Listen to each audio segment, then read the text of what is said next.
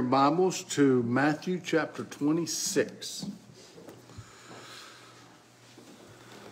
Matthew chapter 26. It's a lot going on in this chapter the institution of the Lord's Supper. Jesus is betrayed and arrested. We want to look at verses 31 through 35 to begin with. And then we're going to get into some more of the text and some supporting passages. Then said Jesus unto them, All ye shall be offended because of me this night, for it is written, I will smite the shepherd, and the sheep of the flock shall be scattered abroad. But after I am risen again, I will go before you into Galilee. Peter answered and said unto him, Though all men shall be offended because of thee, yet I will never be offended. Jesus said unto him, Verily I say unto thee, that this night before the cock crow, thou shalt deny me thrice. Peter said unto him, Though I should die with thee, yet will I not deny thee. Likewise also said all the disciples. You know, this really starts back in chapter 20, uh, chapter 16 along about verse 20 22 jesus reveals at that time that he's going to suffer death on the cross. And at that point peter actually rebukes him and says not so. That's not that's not going to happen. Be it far from you.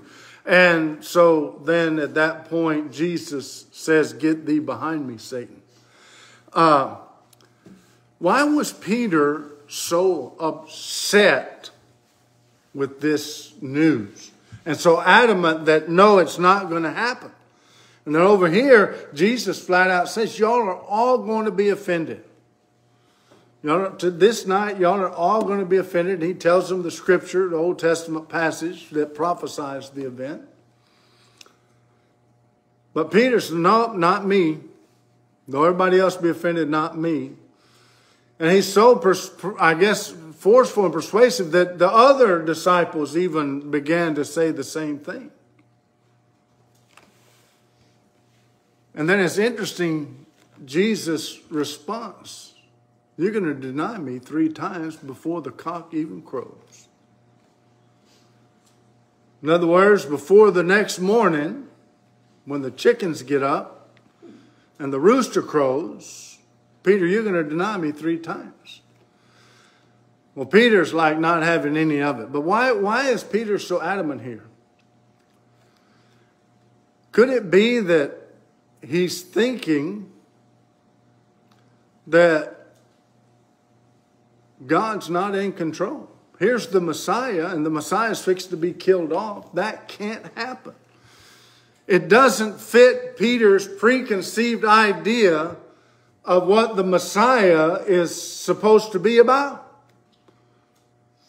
Most of the Jewish people at that time believed that when Jesus, well, the Messiah, because a lot of them rejected him, in fact, most did, at that time they had a preconceived idea that when the Messiah came, that he was going to deliver them from Roman oppression and reestablish Israel as a world power once again.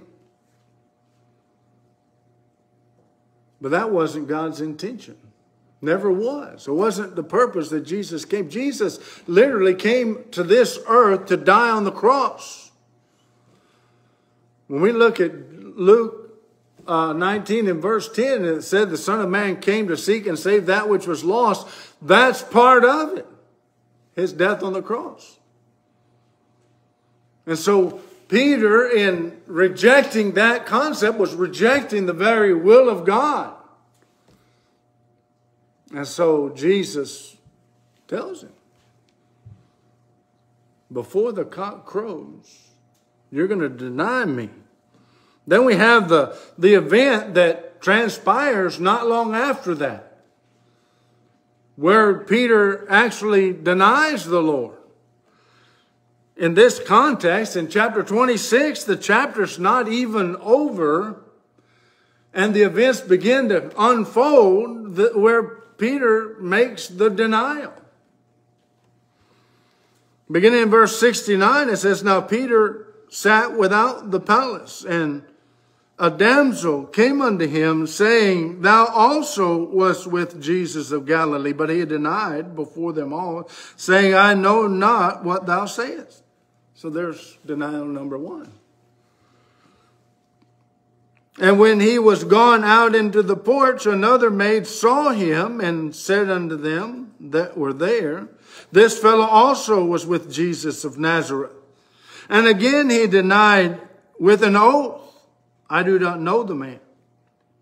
Denial number two. And after a while came unto him they that stood by and said to Peter, Surely thou art one of them, for thy speech betrays thee.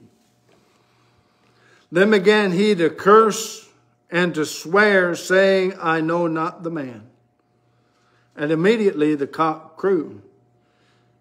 And Peter remembered the words of Jesus, which said unto him, Before the cock crow, thou shalt deny me thrice. And he went out and wept bitterly. This account is, is, is recorded in all four Gospels in varying degree of detail. In fact, Mark's detail uh, adds that he was going to deny him thrice before the cock crows twice. And so he goes out and he denies him. They record that, and the cock crows. He denies him again, and the third time, the cock crows the second time, and he remembered the same. Luke and John record pretty much the same event in the same way. The fact is, Jesus predicted the denial and the cock crowed. You know what's interesting about the cock crowing part? I don't know. I grew up with chickens. I didn't grow up with chickens, but we had chickens when I was growing up. I was raised with chickens. But anyway, thank you, Wayne. But anyway, one thing about roosters, you can't keep them from crowing. When a rooster gets it in his mind to crow, he's going to crow. And another thing about roosters, you can't make them crow.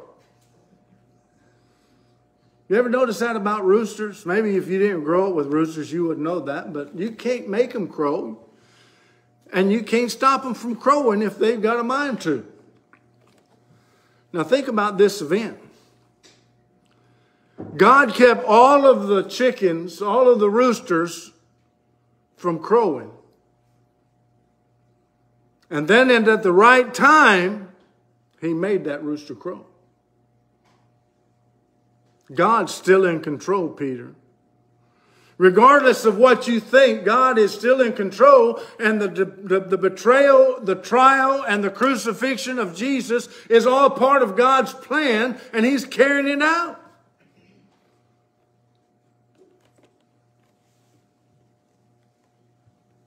Peter wept. If you look at the account and, and keep reading, it says that Jesus looked at him. Jesus looked at him, and he saw Jesus looking at him. Can you imagine the piercing stare of Jesus? And what Peter must have felt having boasted even though everybody else, yet not I. Everybody else can deny you, but not I. Even if it means my death, not I. And yet, just as Jesus had predicted, just as it was prophesied so long ago in the Old Testament, that the shepherd would be struck and the sheep would be scattered, that came true even among the closest friends of Jesus. Even Peter, who boastfully said, Not I. Peter denied him. I've always thought that was an amazing account. Notice the increased intensity of Peter's denial. First off, it was, I don't know what you're talking about. No, it's not me. And then it was a denial with an oath. Guaranteed, he's guaranteed the denial with an oath.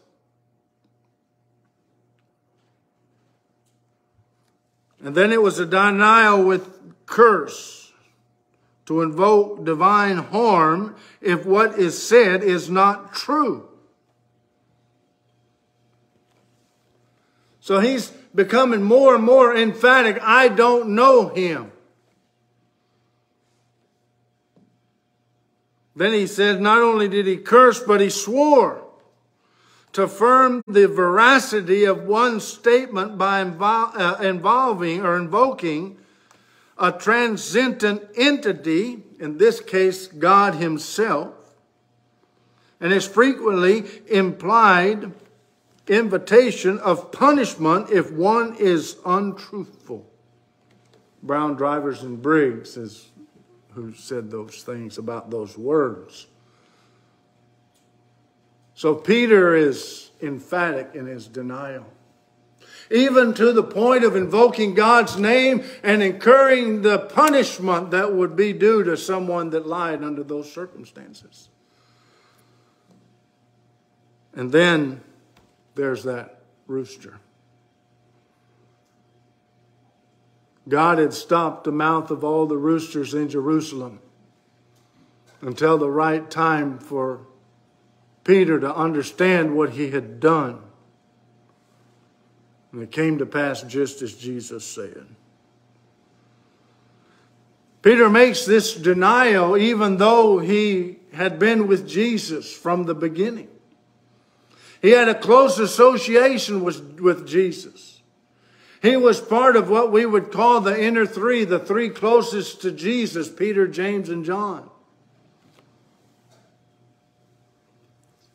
In uh, Matthew chapter 4, verses 17 through 20, it says, From that time Jesus began to preach and to say, uh, Repent, for the kingdom of heaven is at hand. And Jesus walked by the Sea of Galilee and saw two brethren Simon called Peter and Andrew his brother, casting nets into the sea, for they were fishermen. And he said unto them, Follow me, and I will make thee fishers of men. And they straightway left their nets and followed him. They were with him from the very beginning. Nobody knew Jesus better than Peter. On many occasions, when, when Jesus would ask the que a question, Peter would be quick to answer. Matthew chapter 16, verse 13 and following. When Jesus asked the disciples, saying, Who do you say that I, the Son of Man, am? It was Peter who answered quickly, Thou art the Christ, the Son of God. Peter knew Jesus had a close personal relationship with Jesus in the flesh. I've often heard people say, yeah, it must have been real easy for those people to be faithful because they were right there and they got to see everything. They were with Jesus and knew him personally. As John said, we beheld him with our eyes, we handled him with our hands. 1 John chapter 1. They were there. They were witnesses. Peter was close to him. Now, it would be so easy to be faithful if you lived back then and saw those things and was with Jesus. Ask Peter. Ask Peter. Nobody had been with Jesus longer. Nobody was closer than Peter, James, and John, and yet Peter denied him. He was there at the healing of his own mother-in-law, Matthew chapter 8, verse 14 and 15. He was there. Now think about this. He was there when Jesus walked on water, in the Sea of Galilee, Matthew chapter 14, verse 22 through 23. Or through 33, rather. So he, Jesus told them to get in the ship and go across the Sea of Capernaum. There's a storm that comes up. They're not making any headway. They're concerned. And Jesus comes walking to them on the water. And they see him out there and they think he's a ghost and they, they're afraid. Jesus says, Fear not, for it's I. Walking on the water. An amazing event defies all man, all uh, logic, all physics, all science that we know, defies gravity. But yet Jesus is doing it. And here's Peter. If it's really you, bid me to come to you. Come. This is the faith of Peter. He gets out of the boat. He steps out of the boat and begins to walk toward Jesus on the water.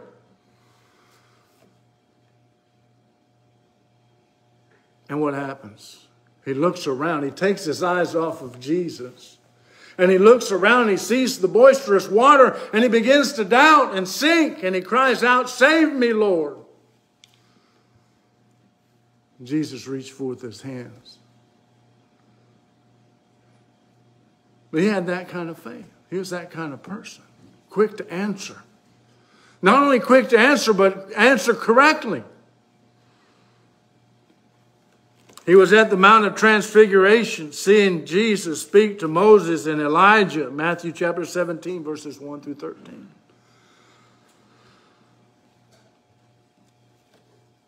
He wants to build a tabernacle for each he was there and witnessed that great event. Later writes about it. He was with Jesus when he went to the garden to pray before the crucifixion, before the betrayal and crucifixion, on the same night that Peter boasted, Not I. Though everybody else, not I. Jesus requests his three closest friends in the whole world to come with him to pray. He takes with him Peter, James, and John. And he goes forward a little ways. And he prostrates himself on the ground. And he prays. He prays, Let this cup pass from me, nevertheless, not my will be done. He comes back and what's Peter, James, and John doing? They're sleeping. Come with me. I'm in anguish this night. Come be with me and comfort me. Still ringing in our ears, isn't it? Peter says, Not I. But he couldn't even go and be with him for that time when he needed him the most. He was asleep. Jesus comes back and says, What? Watch and pray, lest you enter into temptation. The flesh is willing, but the spirit is weak. Does that not describe Peter right there? The flesh is willing. Peter's, I'm not going to deny you. I'm not going to be offended. Everybody else, but not I. His flesh was willing, but his spirit was weak. Can we learn from his mistakes? We've already seen some. He was boastful. Pride is dangerous. Matthew chapter 26 and verse 33 Peter answered and said that all men, uh, though all men shall be offended because of thee, yet will I never be offended. Pretty bold statement there, Peter. Jesus warned Peter what he would do. That's interesting. We've already seen everything that Peter witnessed. The time he spent with, with Jesus, the healing of his mother in law, walking on water, the transfiguration, the feeding of the 5,000. We could go on and on, raising the dead. And now, here at the crucial moment, he begin, gets boastful, prideful.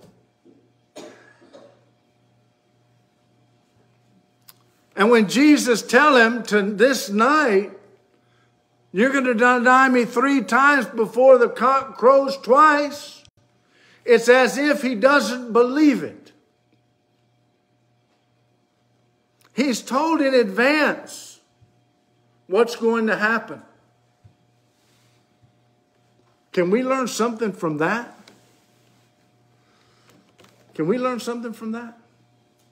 Here's Jesus. Peter, this is going to happen. You know what? Jesus is speaking prophetically. Sometimes we might overlook that.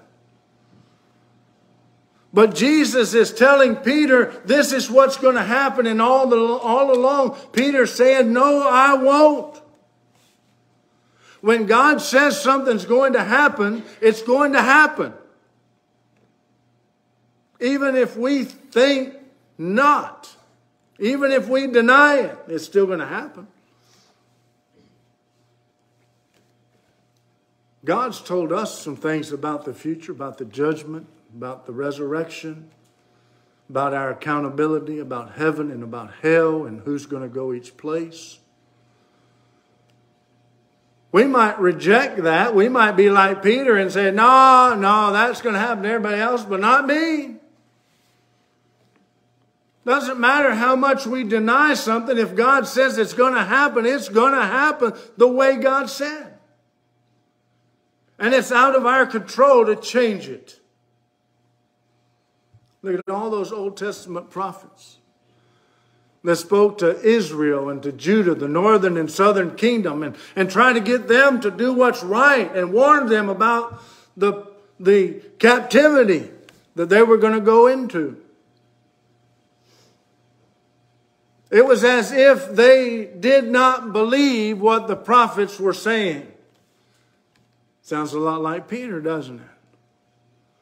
Denying the foreknowledge of God and the prophetic statements regarding things in our future, we can deny it all we want. It's not going to change the fact. In fact, if we go back in the Old Testament, we can see that proven over and over and over again. And here in this little event in Peter's life, we see this prophetic statement by Jesus that you're going to deny me three times before the cock crows twice. And knowing all that we know about Peter, it may sound astounding to us that he did exactly what Jesus said he was going to do. That's the foreknowledge of God. Jesus knew that Peter was going to become weak in the moment when he needed to be strong.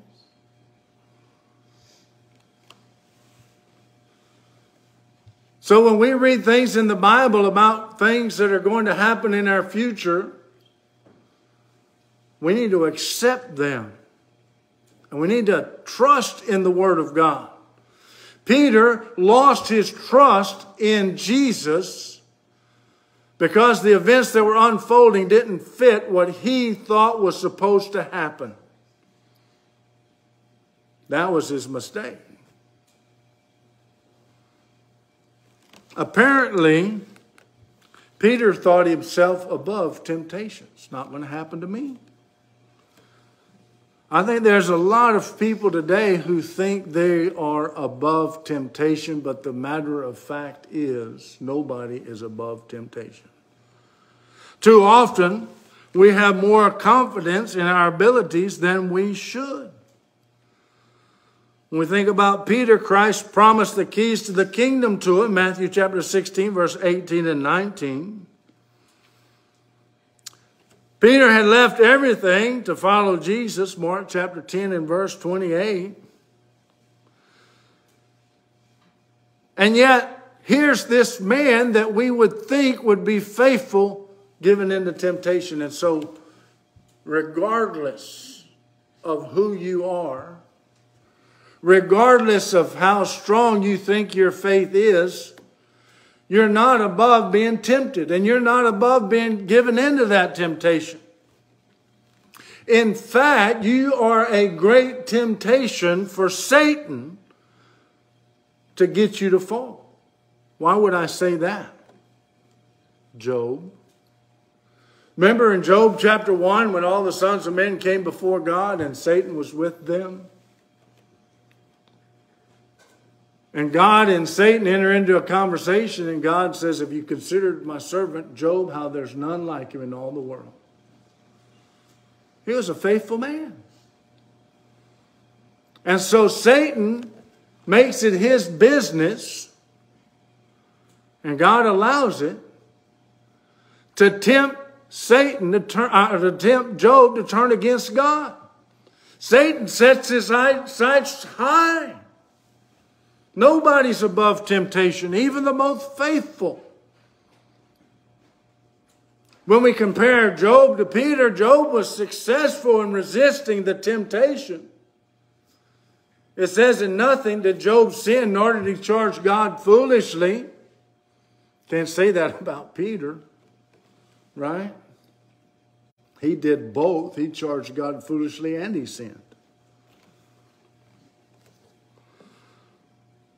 The destructive nature of pride gets a lot of people in trouble. Proverbs chapter 16 and verse 18 pride goes before destruction and a haughty spirit before a fall. Matthew chapter 23 and verse 12 whosoever shall exalt himself shall be abased. That's pride. And he that shall humble himself shall be exalted. James 4 and verse 6, James says, but he gives more grace. Wherefore he says, God resists the proud and gives grace unto the humble. There's consequences to pride. Peter, in his pride, made rash statements and failed miserably. Pride goes before destruction, a haughty spirit before fall. Peter found out the hard way. Another thing we can learn from Peter's denial is that good intentions aren't enough. Good intentions aren't enough. Somebody once said, and rightly so, the, the, the road to hell is paved with good intentions. Intentions aren't what's important. Remember Peter's statement, Matthew 26, verse 35. Though I should die, with thee. Yet will I not deny thee. And then it adds, likewise also said all of the disciples. Peter was a bad influence on the other disciples. It's interesting that it doesn't say anything about the other disciples until Peter persists and keeps going with this. And then they all join in. Oh, no, see. So that's what happens with pride. That's what happens with pride. Maybe they got a little prideful too and said, well, if Peter's going to say that, it's going to make us look bad, so we need to say it too. Have you ever been in that position where, where you know something's not right and, and you're going to look like an odd duck if you don't go along with what everybody else is saying? What people think of us is important to us. And our reputation is important, but not to the exclusion of the truth. Just because everybody else is saying something doesn't make it right. And we should agree with the things that everybody is saying because it is right. And if it is not right, we shouldn't go along with it just to get along. Just so we won't look different or stand out. When in reality, as Christians, we ought to stand out from the world. We need to be different. Do you think Peter intended to deny the Lord? See, he had good intentions when he said what he did. And it might have sounded good to him, and evidently it sounded good to the other disciples because they joined in. But it's actions by which we will be judged, not our intentions. We can intend to do the right thing, but until we do the right thing, it doesn't matter. We're going to be judged by what we do.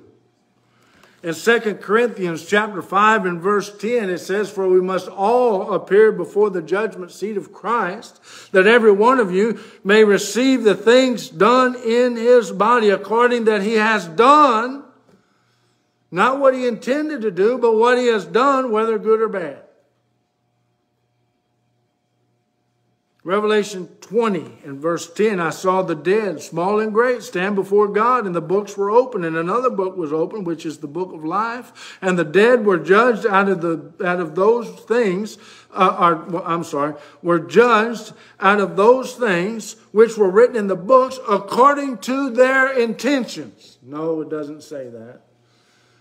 According to their deeds. Peter had good intention but he's going to be judged according to what he did. If you're a student in school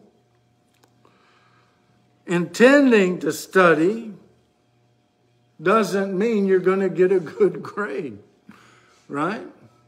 Intentions don't get it done in this life, and it certainly doesn't get it done in our spiritual lives. In work, intending to work doesn't equal a paycheck. Well, I intended to come in today, but I, I just didn't do it. Can I get paid anyway? How long is that going to work? How about never? it just doesn't happen that way. It's what we do that counts, not what we say we're going to do, but what we do. Good intentions are fine as far as they go, but they have to be joined with actions.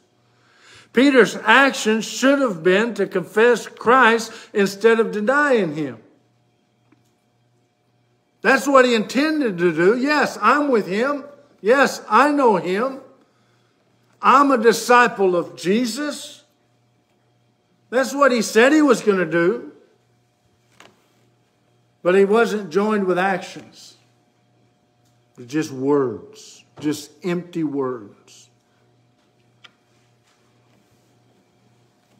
Galatians chapter 5 and verse 6 For in Jesus Christ neither circumcision avails anything nor uncircumcision. Well, what does avail, Paul? He tells us, contrast word but. It's not circumcision or uncircumcision. Well, what works? But, he says, patience of hope in our Lord Jesus Christ. I'm sorry, uh, but faith rather, which works by love. That's what works. Faith, that's what avails. Faith that works through love. Just simply saying, I believe Jesus isn't enough. We have to do what he says. We have to do what he says. 1 Thessalonians 1 in verse 3. In Paul's prayer for the brethren at Thessalonica, says, Remember without ceasing your work of faith. Look at that work, labor of love. Look at that labor and patience of hope. Patience, that's an action. In our Lord Jesus Christ in the sight of God and our Father. That's the things that are commendable. What we do, not what we say we're going to do. Good intentions aren't enough. Without prayer, we are easy prey for Satan. Prayer regarding Peter. Jesus prayed for him, Luke 22, verse 32 and 33. He said, But I have prayed for thee that thy flesh fail not, and when thou art converted, strengthen the brethren.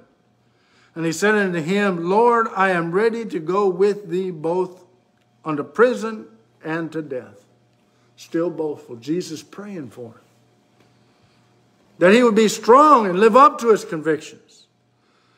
Jesus instructed him to pray, pray Matthew 26, verse 39 through 46. So when Jesus was in the garden, Peter, James, and John were there.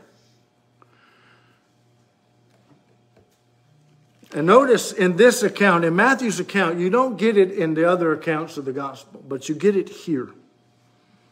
The other, the other accounts, it just says he came back and the disciples were praying. And he told them all, watch and pray, that you enter not into temptation.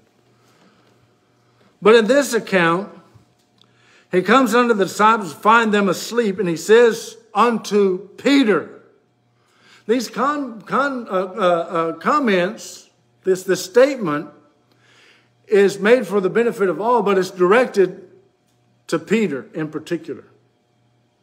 Now, we can all benefit from the statement that's being said here. Why do you think Peter's mentioned out above the other ones? Because this is not long after he made that bold statement, that rash statement, that prideful statement. He comes back and says to Peter, could thou not watch with me one hour? What a question. Just a minute ago, Peter, you said you was going to go with me even and die with me, go to prison and die. Couldn't you just watch with me one hour? Watch and pray that you enter not into temptation. The spirit indeed is willing and the flesh is weak. And this happens again and again. Peter failed to heed the warning to pray. His flesh was weak. He was tired. Many have been instructed to pray, but do not. I think one of the greatest tragedies in the Lord's church is that we don't pray the way we ought to pray. We, of all people, have the ear of God because we are his children. We have the right to call him Abba Father. And we need to avail ourselves of that privilege. And we need to pray to God because the world can't. Not only are we praying for ourselves, but we're, we're, we're supposed to intercede on behalf of others. We're supposed to offer up supplications and prayers for all men, for, for the kings, for the principalities, for the rulers of the world. Most of them are not in a position to pray for themselves, so it's left to us. And we wonder why the world is in the position that it's in. Maybe it's because Christians aren't praying as they should. I know Peter didn't. I know James and John didn't even though they were encouraged to.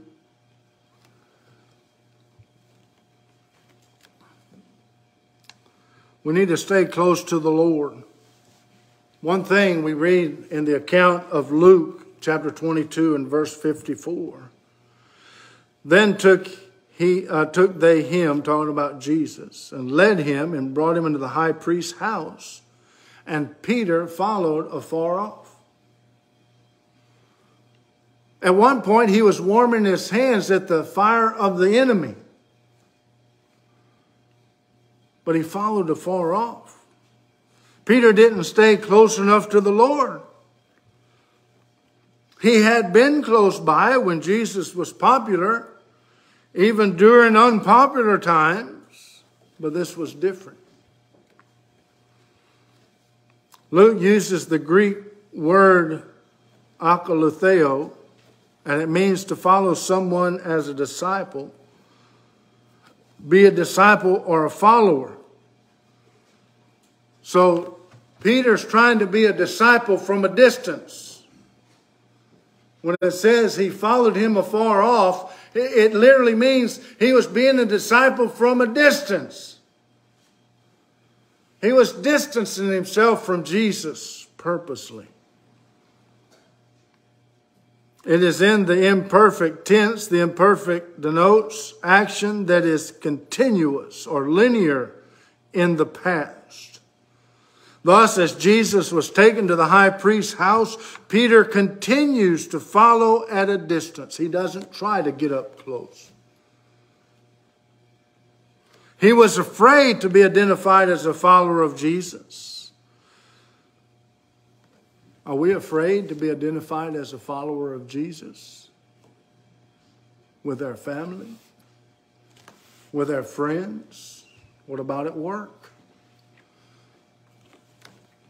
Are we afraid to be identified with Jesus? Do we follow Jesus? Are we a far off disciple? Are we trying to be a disciple from a distance? When things happen at work and we need to speak up, or things happen with our family, we need to speak up. Things happen with our friends, we speak up. Things happen in public, we speak up. Do we do that? Or are we like Peter? And we get so far away from following Jesus that nobody can tell we're a disciple. Or when somebody asks if we're a Christian, how do we answer? Do we deny it? The other apostles, they were scattered. So they did not face this kind of situation and temptation. Matthew chapter 26 and verse 31 Then said Jesus unto them, All ye shall be offended because of me this night. For it is written, I will smite the shepherd, and the sheep of the flock shall be scattered abroad. Offended from the Greek word that means to cause to stumble and fall. We need to be cold or hot. We don't need to follow Jesus from a distance. It's better just not to follow him at all. Revelation 3 and verse 15, Jesus says to the church at uh, Laodicea says, I know thy works, that thou art neither hot nor cold. I would that you were hot or cold. Doesn't want you to be lukewarm. Sin will multiply before you know it. Sin escalates quickly. Peter denied the Lord three times before he even realized it.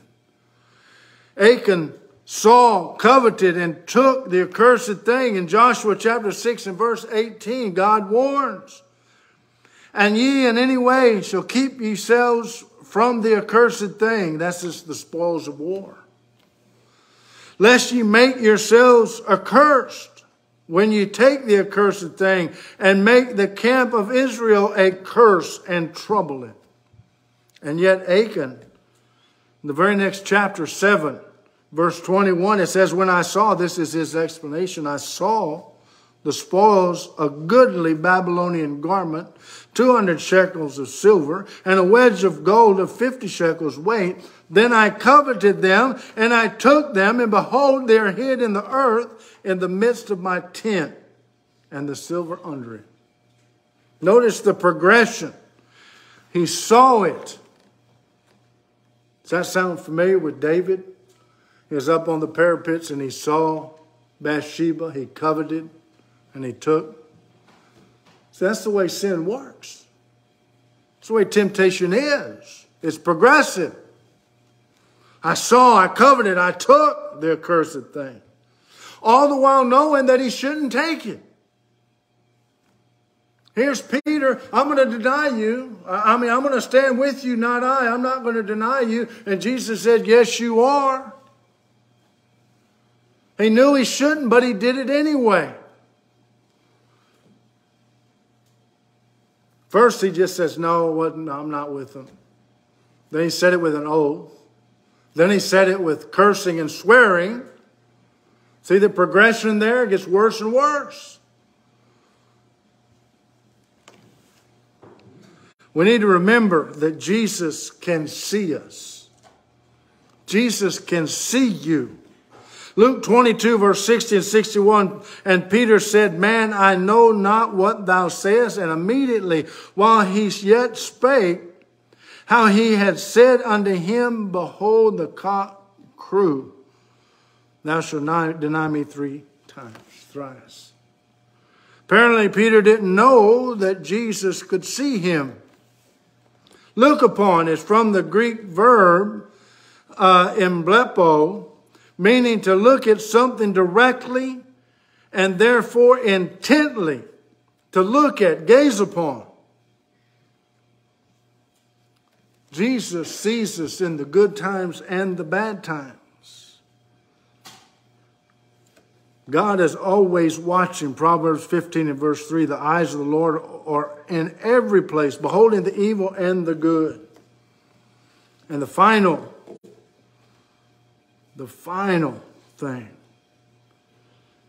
there is always the possibility of forgiveness. God always desires to forgive and to save. 1 Timothy 2 and verse 4 Who will have all men to be saved and come to a knowledge of the truth? God wants everybody to be saved.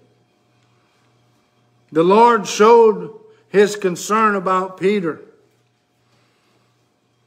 We do a Peter an injustice if we do not recognize that he repented. He affirmed his love for Jesus, John 20, verse 15 through 17.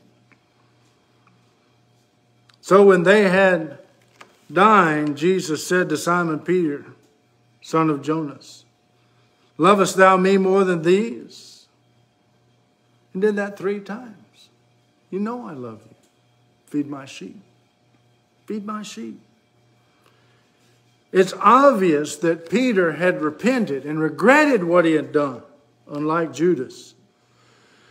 Jesus had given Peter the keys to the kingdom, Matthew chapter 16 and verse 19. And Peter used those keys on the day of Pentecost in Acts chapter 2.